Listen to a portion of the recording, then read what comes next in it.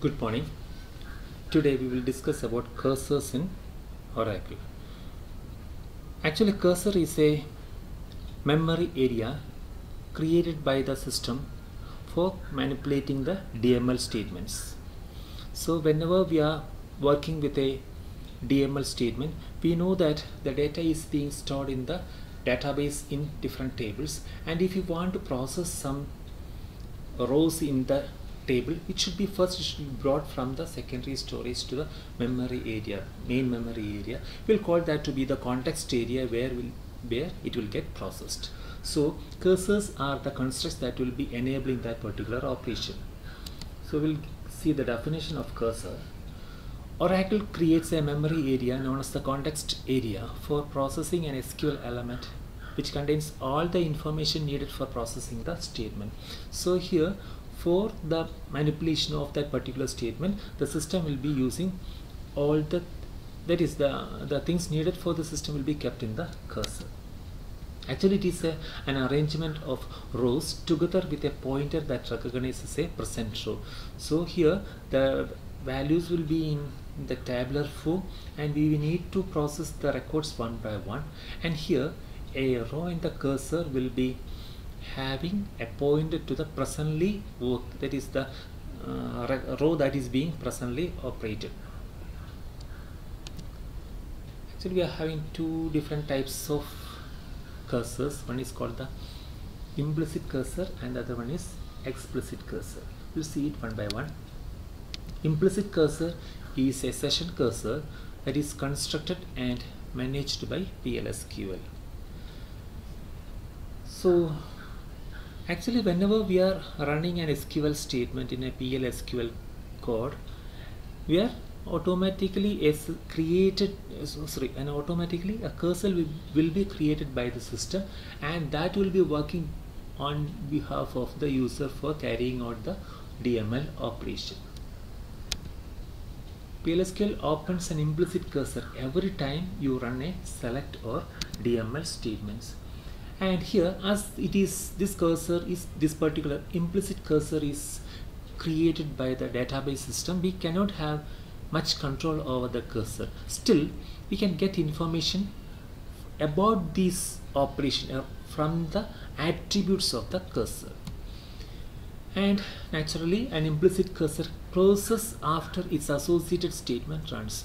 So after completing the DML operation the cursor would have stopped this operation. It may be it may be an updation or updation operation that will be uh, completed once the statement is over. But still the attributes values remain available until another select or DML statement runs. We could still get the details regarding the previously executed or the last executed DML statement by following the attributes see what are the attributes of an cursor. That is not constrained to the implicit cursor.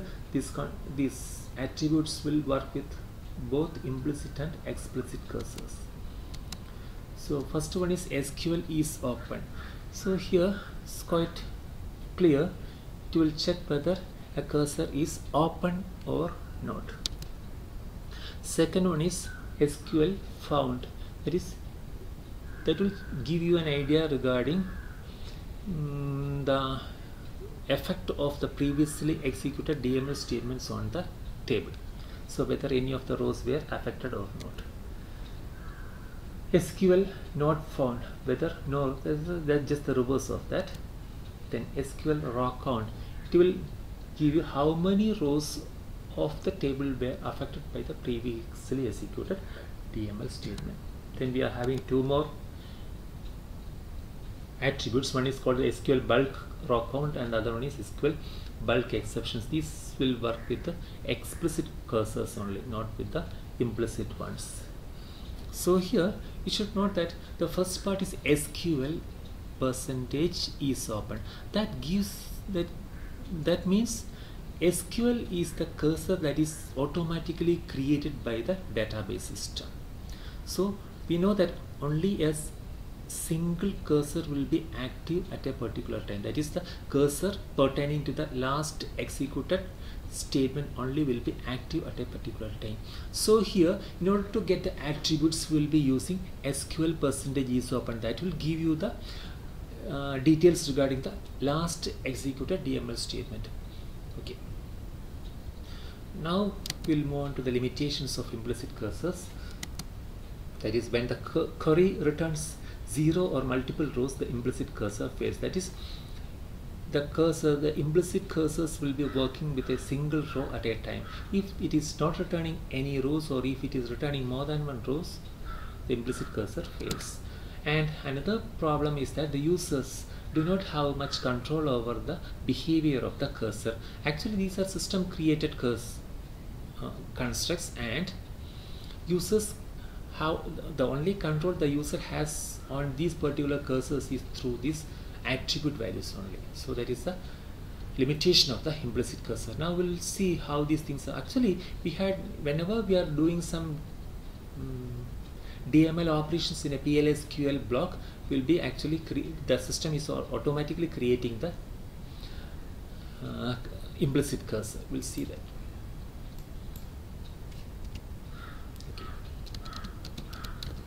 declare. So we have a table like employee that we have created previously. So we'll check that. Select. Start from employee. Sorry.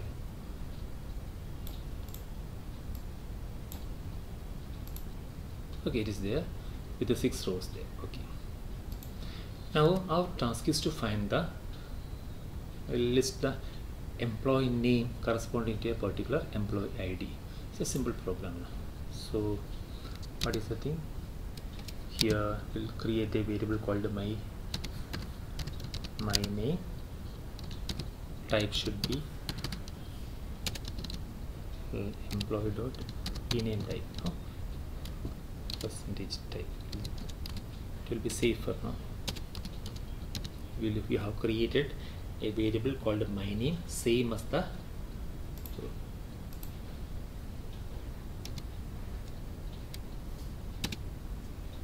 okay no? Okay. Same as the type of ename field in the employee table. So here uh, so okay and we'll create a uh, what should be done for a particular employee ID we should get the employee name and that should be listed. Okay begin. Begin. Then select into my name. Select what what into select? Ename into. E name from the particular employee table. E name into our variable my name from employee table where eid equal to will give you find the values e 008 okay. So so simple thing. And we'll print that also. Dbms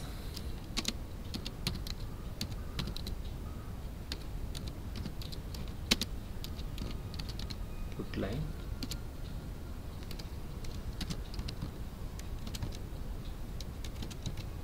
name is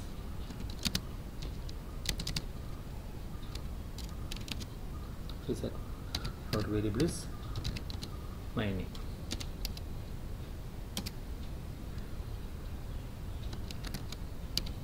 okay try to run this one having some errors there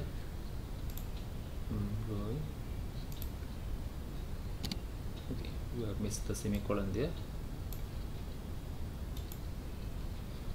now it's working. Name is James. So it says implicit cursor what has happened here is that whenever we are operating we are having a select statement like this the system will be automatically creating a cursor named SQL and that will be used for the processing of this particular DML statement. So that is the case with the uh, implicit cursors.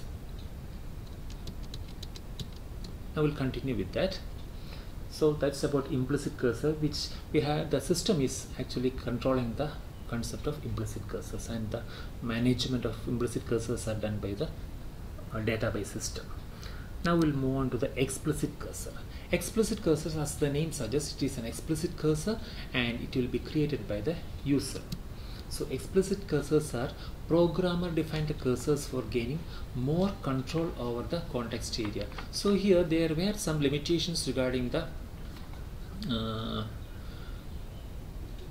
implicit cursors that could be overcome in the case of explicit cursors. So these are programmer defined cursors and we are responsible for creating and managing the explicit cursors. And explicit cursors should be defined in the declaration section of the PLSQL block just as in the case of variables and the triggers or here cursors also will be declared in the declaration part of the PLSQL block. So to create an explicit cursor we'll use the statement somewhat like this cursor cursor name is select statement so here uh, we are having the keyword as cursor. Then cursor name is the name of the cursor and is is a keyword and select statement. Actually the full syntax is somewhat different. We'll see that later on. So here the steps in using an explicit cursor we are having four different steps. One is the declares part open fetch and close. That is first we'll have to declare the cursor in the declaration section. Then after de declaring we'll have to open the cursor for processing. Then we'll have to fetch the values from the uh, second database into that particular our cursor that we have created. And finally after processing the data we'll have to close that also. So these were the steps these are the steps in using an explicit cursor so the declaration part is somewhat like this. Cursor cursor name. These were the things that were omitted in the previous slide. Parameter list and return type. So these are two optional parameters so I have left it. So cursor cursor name is select statement. This must is the mandatory part. So that's an example.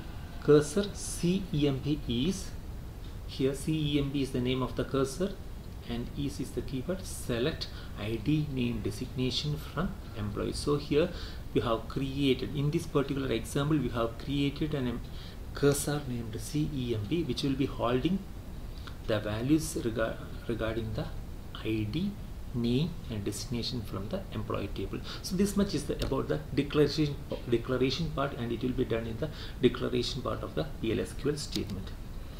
And here what are the things done here a name is given and an associated select statement is given. That is the only that is here we have combined the declaration part and the definition part. So here a name is given for the explicit cursor and an associated select statement is also given here. So after creating the cursor we'll have to open the cursor for processing. So it's very simple open the name of the cursor. Then after opening the cursor we'll have to fetch values from the database into the cursor that we have created. So here fetch CEMP that is from the value that is CEMP is holding the uh, uh, database values that is uh, the table values are now in the CEMP cursor and that should be taken into some programming where the some variables for further processing. So here actually CEMP is holding the uh, what was that? So here CEMP is select ID name and designation. We have brought the ID name and designation into the CEMP cursor and they are there and we'll be fetching that values into CID CNAME C designation. So only these three were needed. So okay I will explain that while we are doing that illustrating that. Okay after uh, fetching the okay here the fetching is fetch the variables is fetch the cursor into the variable names. And after fetching we'll process that and finally once we have completed with the operations we'll close the cursor. That is very simple close CEMP now we'll see how it is working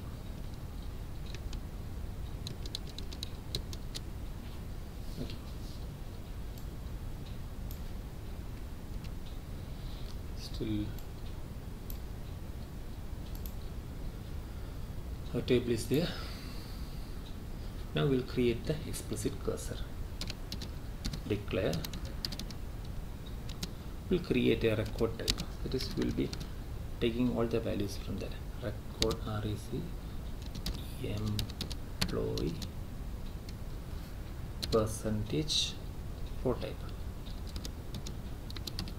What will happen here in the record variable. There will be variables created pertaining to each and every field in the employee table that is employee percentage row type. So here uh, a total of six variables will be automatically created and we'll be naming that as rec.eid rec.ename rec.designation like that. So the part will be simpler. Now after that we need a cursor now we'll have to make the cursor definition here. Cursor c1 i'm naming the cursor as c1 is okay we'll keep use upper cases. Method actually it is not case sensitive just for visibility had changed it to uppercase cursor c1 is what? Select. Our purpose is to will uh, print the employee name and designation of all the employees from the employee table. So here select what? E e name comma designation from employee. It is we have created the cursor c1 in this fashion. That is select e name and designation from employee. So the cursor c1 will be having the employee name and designation in it. Okay. Then we'll begin the operations. Begin the first thing is after creating the cursor we'll have to open that. Open c1 now what should be done? We have to take the values from the table into the cursor. So here we will be will be having more number of values so we'll be putting a loop for that. So the statement is fetch statement no? Fetch what is that? We are having the values in c1 fetch c1 into what are the variables? Rec dot e name comma rec dot designation.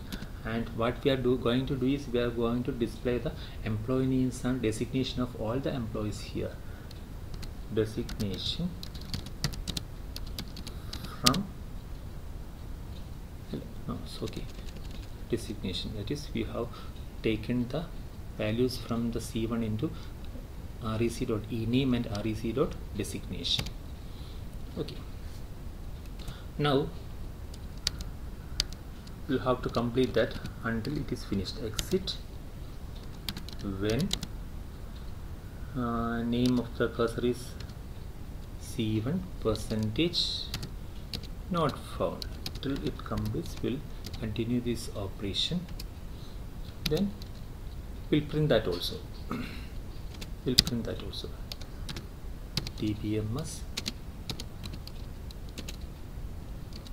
output dot put line okay. What are the things? Uh, rec rec dot ename ename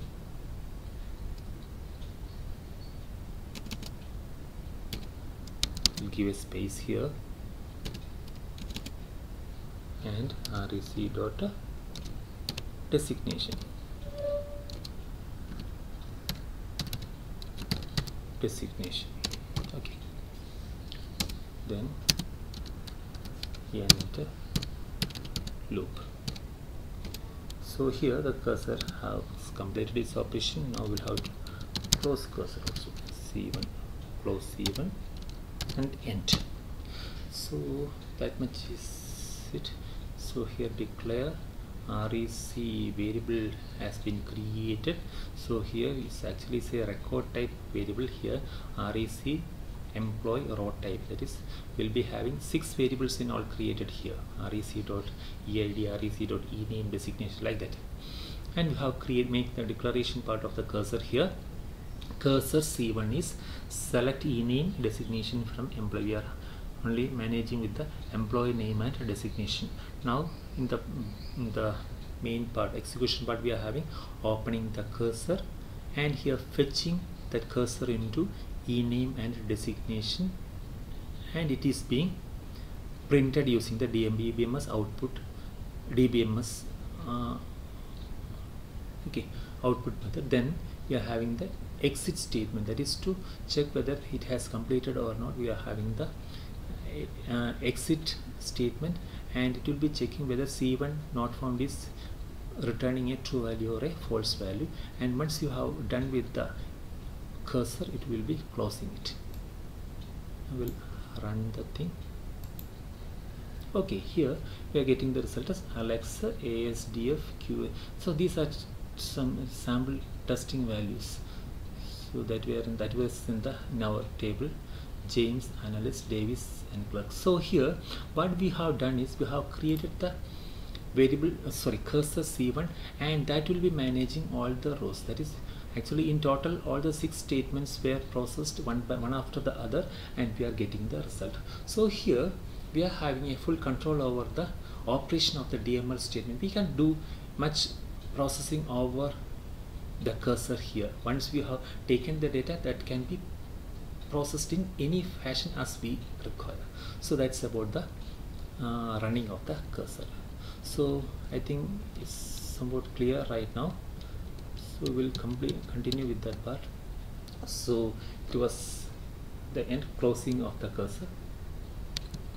And uh, once we close the cursor it will be releasing the memory. And once you close the cursor we cannot fetch any records from its result set. That is the cursor when once we close the cursor it is all over there and we cannot have any operation based on that particular